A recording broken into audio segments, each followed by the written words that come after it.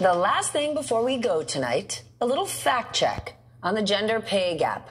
A new video obtained by NBC News shows Arizona Republican Senate candidate Blake Masters, protege of Peter Thiel, disputing the existence of the gender pay gap. The video we are showing you is from a February candidates forum in Scottsdale. Women are not paid less in America than men.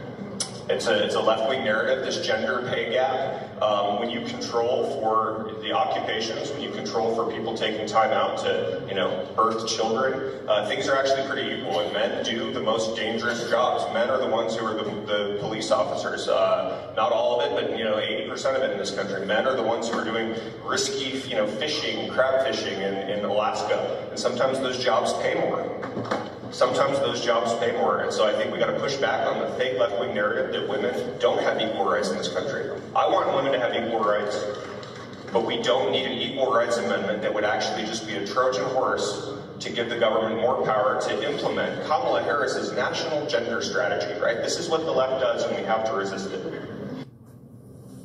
Okay, there's a lot to unpack there. But for fact's sake, let's give it a shot.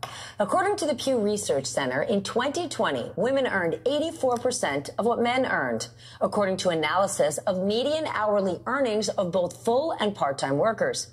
Based on this estimate, it would take an extra 42 days of work for women to earn what men did in 2020.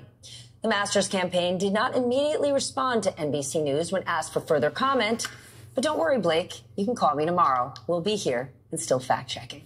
On that note, we wish you a very good night from all our colleagues across the networks of NBC News. Thanks for staying up late with us. I'll see you at the end of tomorrow.